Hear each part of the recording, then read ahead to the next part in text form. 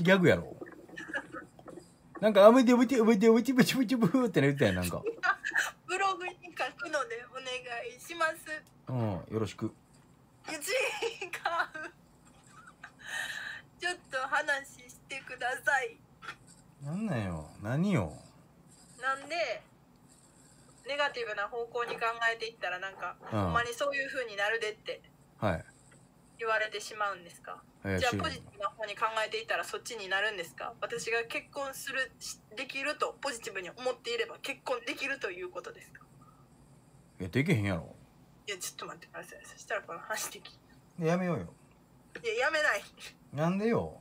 ずっとこのぐるぐる回ってるやんこの話ぐるぐると。これについて書きたいんで。す書いたらええやんか。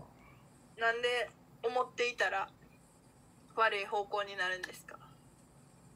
なんでって言うてはんのよ。だって見てよん本の解説してくれてはんのやろその YouTube で。天太郎はそういう話してないです。天太郎ってあのあ居酒屋？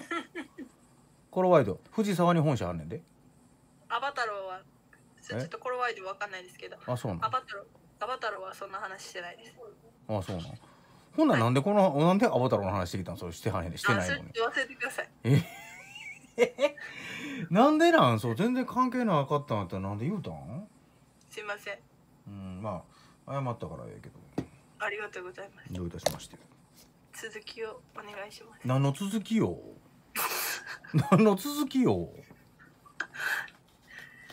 なんでうん。ネガティブな方に考えるとそれが実現するよって言われるんですかっていう。知らんやんそんなん俺に聞いても。俺別に脳科学者でも何でもないねんから誰やと思ってんの？なんななんなんでそんな俺に聞いても知らんで。じゃあ田辺さんなりの考えを。ええでもポジティブに考えてたら本当にそっちに行くということですか？行くと思うよ。なんでそう思えるんですか？なんでそう思えるか？なんでそう思えるか？どっちにも起きてないわけじゃないですかあのー、じゃあさはい。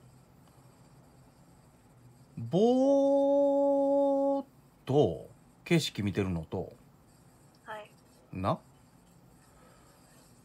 その景色の中にセミ一匹いますって言われてぼーっとこう林の木々を眺めてるのとな？その中にセミ一匹止まってるよ。て止まってるから見つけてって言われてそのセミを探すのとな。はい。目の機能の仕方違うやろ。あそうですね。違うっていうふうになんとなく感じるよね。はい。だからあのあセミ見つかるみたいなのあるやんねはい。ぼーっと林全体見てたら木がいっぱいあるだけに見えてたけどその中にセミ一匹止まってるの見つけてって言われたらこの木にどっかにセミ止まってんねんなと思ってガーって探すやんね。はい。その時の目の機能の仕方ってその前にぼーっと林全体見てる時と違うよね多分。違います。それによってセミ見つけるよね。はい。ね。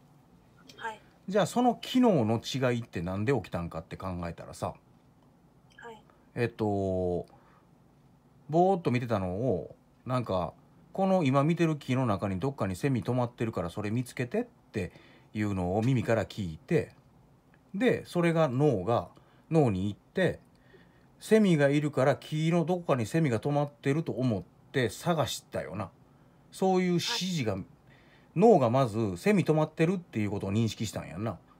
この木どっかにセミ止まってるって聞いたよなでその止まってるんやからそのセミを見つけるっていうふうに目に指示出して目が脳の指示に従ってセミ探すっていうことしてんやんな。はい。脳がどう思ってるかっていうことで機能変わったな。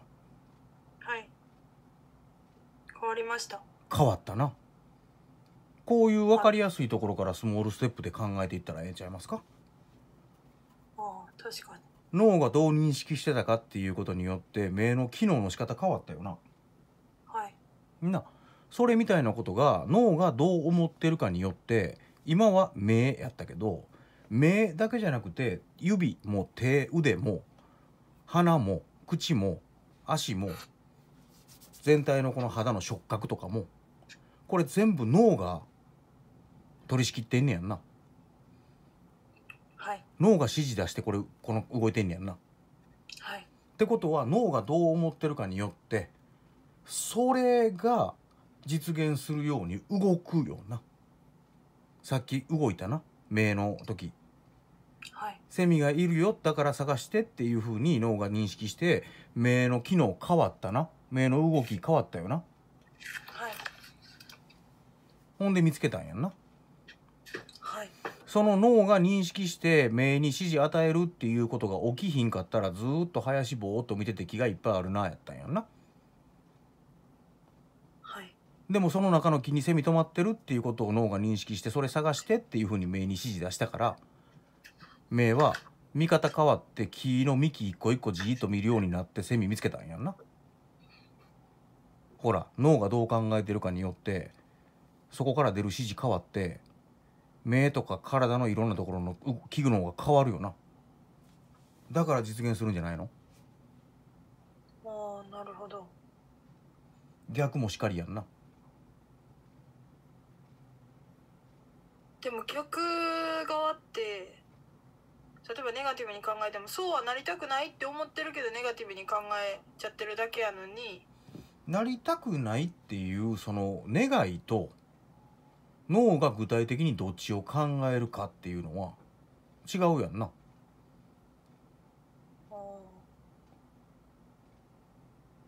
脳がどっちを考えるんですかってことやんな。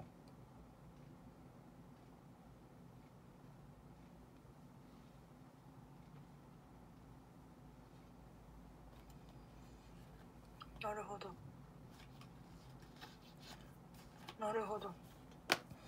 俺も別にあの科学者じゃないからさあの正しいこと詳しいこと分かれへんけどさあのよう言うやんかなんか人間の脳ってさあの過去とか現在とか未来とか嘘とか本当とかそういうのを認識する力はないって言うやんか。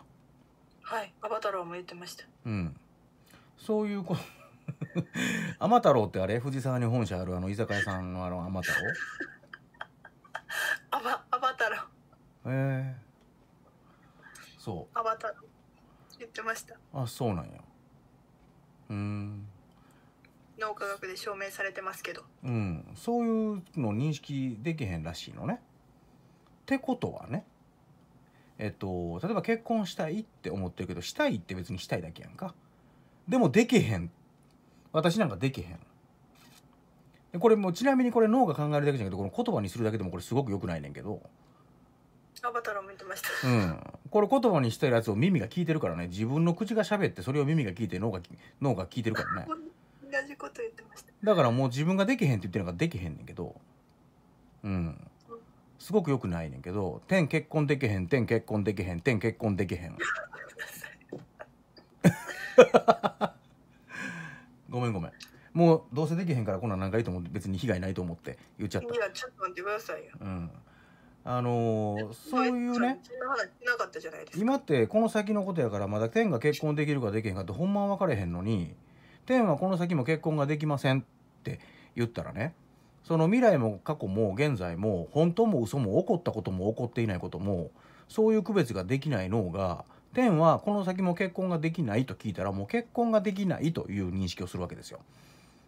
うん、なので、えっと、結婚ができないというふうに脳は認識しててそれにもその認識に基づいて全部の、えっと、体に資料を送るわけですから例えば、えっと、今、えー勇気を出して話しかければ結婚ができるかもしれないある人がいる時にその勇気を出して話しかけるかどうかっていうのを脳が決めて話しかけろっていうふうに指示を出すか話しかけるなって指示を出すかっていうのを脳が決めるわけやんな。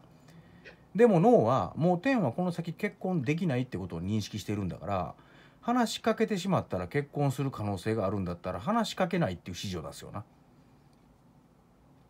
だって脳にとってはもう天は結婚しできないっていう事実が脳にあるから。うんですか？うん。なあだって天は結婚できないっていうのが脳いにやめっちゃ言いますやん。入ってるわけやからそのここで声かけるか声かけやんとこかどうしようかなって天がなんか迷ってる時に脳はやめとけっていう指示を出すよね。